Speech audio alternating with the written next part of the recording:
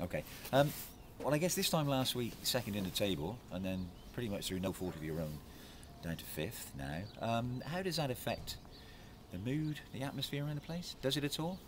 Well, hopefully not. No, we um, we, we didn't win at Swindon. We played particularly well. Um, these people have got games to play, and, and you know a couple have gone above us. That's just a fact of life we've got to deal with, and it's we've got ten games now. We, we said after Swindon, mini league of ten games. That's where we are. We talked about it on Tuesday with the players. Um, we- we'll just have a good training session today, and we'll get back to work and. Um, you know, look forward to what's ahead of us. We can't do anything about what's happened, but we can certainly do something about what's about to happen over the next few weeks. How many teams would you say are now in the mix-up? Um, I think Swindon are probably have got one of the three top spots. I think it's probably between another seven or eight clubs there fighting for it, you know, and you know one or two fancy coming up with a late run. We've got a head start on some, and, and you know we've just got to produce produce what what we've produced over the last two games. The results haven't been as good as we would have wanted, but the performances have been have been pretty good. Um, and if we play like that, you know the results will come. Goal difference is, is all is, is pretty close as well as Yeah. between you all. Yeah. Does that affect how you prepare, how you No. how you approach matches? No, not at all. We try and win matches. We're trying to win every match.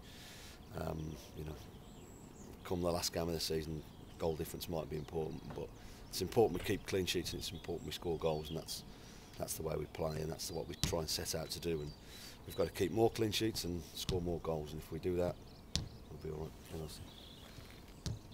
You know, so- Joe, just give us two minutes with you.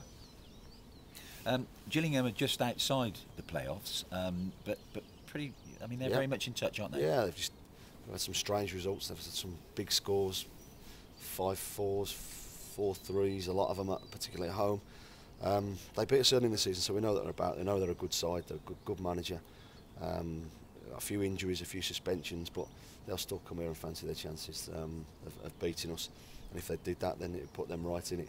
We've just got to make sure we we win, perform well, and, and, and keep that distance between between us and outside the, the, the playoff zone, and, and just you know keep keep accumulating points to get us back into that top three, and, that's the aim. Um, we, we know they're a good side, but uh, you know so we.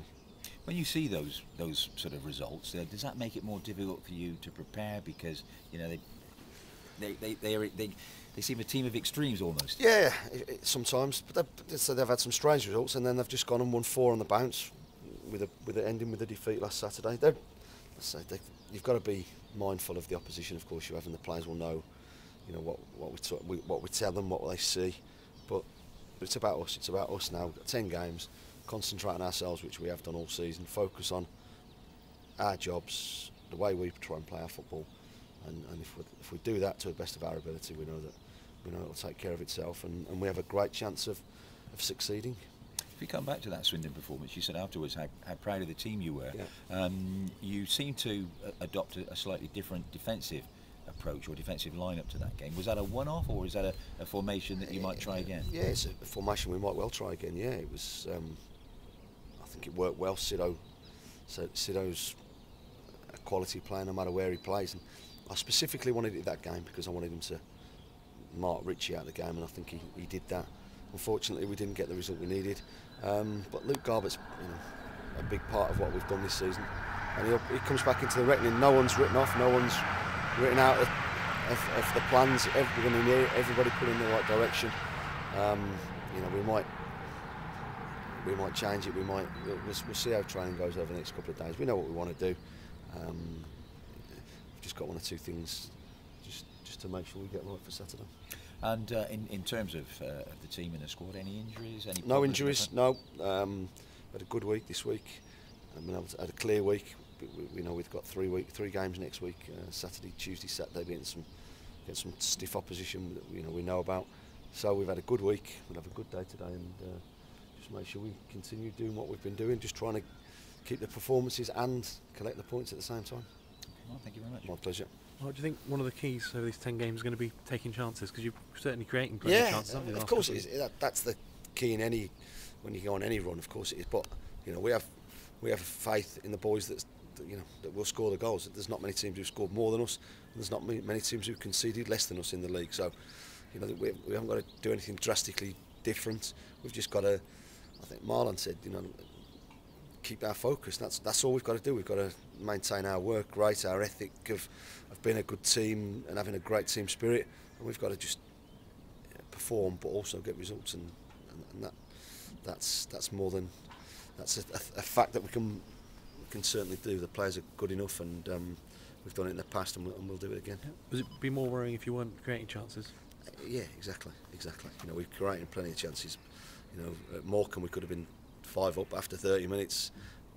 Saturday we've missed four or five really good opportunities that normally end up in the back of the net. So it's not a time to panic. It's not a time to do anything different to what we've been doing all season. And you know, I'm confident that you know we'll all stick together.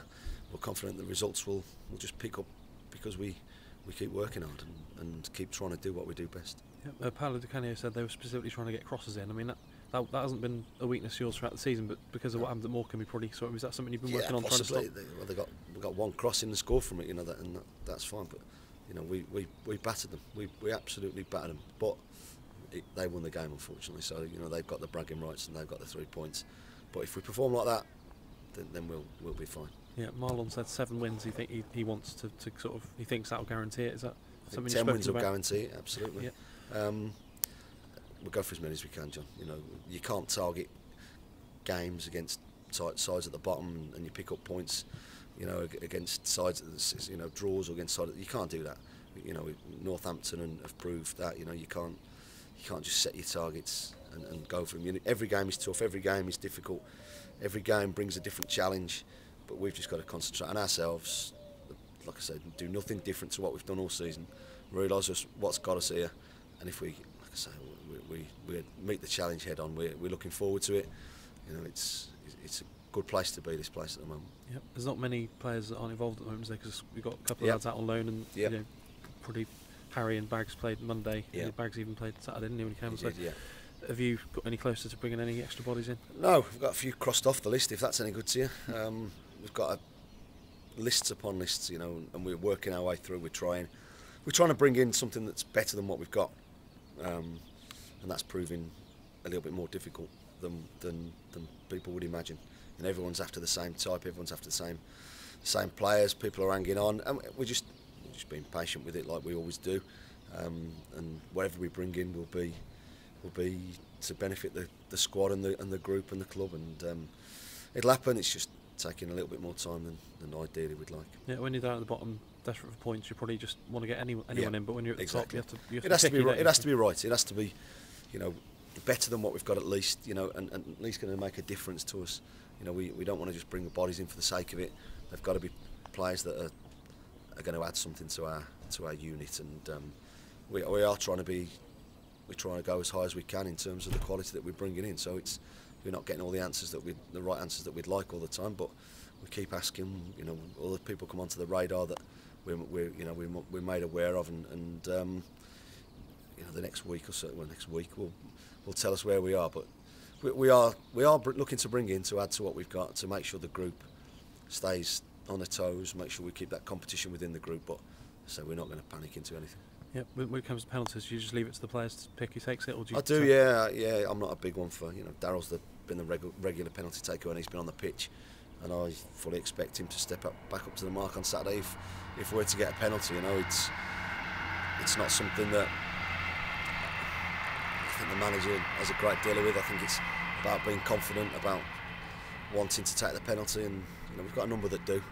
We've just missed two on the two, you know two penalties now, so that's not particularly good, but you, know, that you have to trust your players like we have done all season, and, and you know I'll, I'll back them all day long. Yeah, you mentioned Luke Garbutt. Um, he sort of came in, hadn't played any adult football before, played a lot of games. And how much do you think he'll benefit from having this little breather now? Yep, hopefully, if you know if he gets back in on Saturday, then then I expect him just to step back up to the mark. He's, I think he played something like 17, 18 games on the spin, um, and ju- I just felt he needed to do it. I needed to do what I wanted to do with Sid against against you know the player who won the football league, player player league two award for the for the season, and I thought he did a fantastic job. I could play Sido anyway, and watch this space. I might. Yeah, and just on the awards, I mean, Marlon did very well to brilliant get to nominated. get nominated. Yeah, and it's a recognition for him that he's got his head down. He's you know he's come from a championship club. He's not moaned or or pulled faces. He's he's added a different side to his game. You know we've worked hard with him, but he, he's got to take the credit for that for for wanting his attitude when he came in at the start of pre-season was unbelievable, and he's you know along with a number of others have, have really taken on board what we're trying to do and and, and more than embraced it. They- they- You know, and he's a massive part of our dressing room. He's a massive player for us, um, and, and, well done to him for, for you know, even being a, a nominated with the likes of Ritchie Barnett and and Marlon himself. Yeah.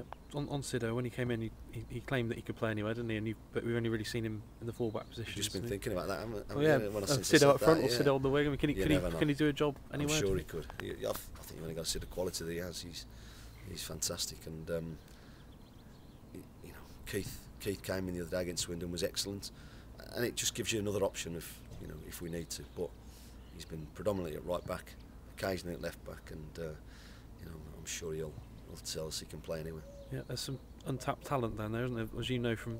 Yeah, conference there is. days, Yeah, sometimes you've got to pay for it, Yeah. um, and it's probably going to cost you more money than it is for for a, a, a, proven league player sometimes. But you know, Sido's been a great find for us, as has, as has Mo. You know, as have you know a number of players this season. Yeah.